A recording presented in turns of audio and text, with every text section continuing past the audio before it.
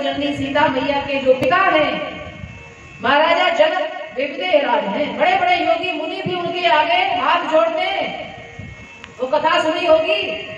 किसी ने आकर कहा, महाराज, महल में आग लगी, नगर में आग लगी तो बोले, क्या फ़र्क पड़ता है? बैठे रहो। एक नए नए साधु बने थे। उनको साधुता का अभिमान हो गया। कहा, मैंने वैराग्य किया है, मैंने इतना छोड़ा है, साधुता भी कोई? बड़ी परीक्षाएँ लेने वाली हो जाती है कभी कभी जो कुछ छोड़ा उसका ही अभिमान हो जाता है। तो उनके गुरु जी ने कहा कि जाओ, पहले महाराज जनक से शिक्षा लेकर आओ। राजा जनक और ये वार्तालाप कर रहे हैं। किसी ने आकर कहा, नगर में आग लगी। राजा जनक कहते छोड़ो, बैठो, इतनी सुंदर भगवत चर्चा चल रही है।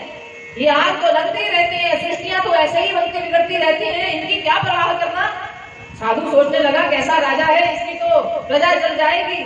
कहा, हमारी सारी प्रजा की भजन कर रही होगी। प्रजा की चिंता मत करो। थोड़ी देर में फिर सेवक लौट कर आया का महाराज, नगर से हटी अब तो अपने महलों में आ गई आग। अरे ये महल क्या है? पत्थर के टुकड़े हैं चार हमने जोड़े चार किसी ने जोड़े। ये पत्थर धरती कभी किसी की हुई नहीं, रजिस्ट्रियाँ ही केवल हुआ करती है कागज़ के टुकड़े अपने हैं, ये धरती किसी की नहीं है। इस धरती के ऊपर एक सुई की नोक बराबर ज़मीन नहीं दूँगा, कहता हुआ वो दुर्योधन भी विश्राम को प्राप्त कर गया। यही कुरुक्षेत्र की धरती, यही दिल्ली, यही इंद्रप्रस्थ, यही हस्तिनापुर। यही धरा रह गया धरती किसी की हुई नहीं, इसलिए साधु बैठो, भगवत चर्चा में क्यों विघ्न डालते हो? साधु हैरान था ये कैसे राजा हैं? ये कैसे परिवार के स्वामी हैं? इनके महलों में आग लगी, सब जल जाएगा, परिवार के बच्चे आदि कष्ट पाएँगे, ये फिर भी प्रभावित नहीं हो रहे। थोड़ी देर में आया सेवक, बोला, महाराज, महल के जिस भाग में आप बैठे हो, उस भाग को भी अग्नि ने पकड़ लिया है। अब साधु ने दो चार बार हिलाया का महाराज, अब बस करो भगवत चर्चा ये ब्रह्म ज्ञान तो यही खड़ा रह जाएगा फूक जाएँगे, जल जाएँगे। भागने की करो योजना? अरे, बैठे रहो। भगवान नाम स्मरण जहाँ होता है, वहाँ तो बड़े बड़े संसार की अग्नियाँ जो है, वे भी प्रभावित नहीं करती है तो थोड़ी बहुत आग है, ऐसे ही नष्ट हो जाएगी। इसको, इससे प्रभावित नहीं होना चाहिए। बड़ा हैरान रहा वो साधु।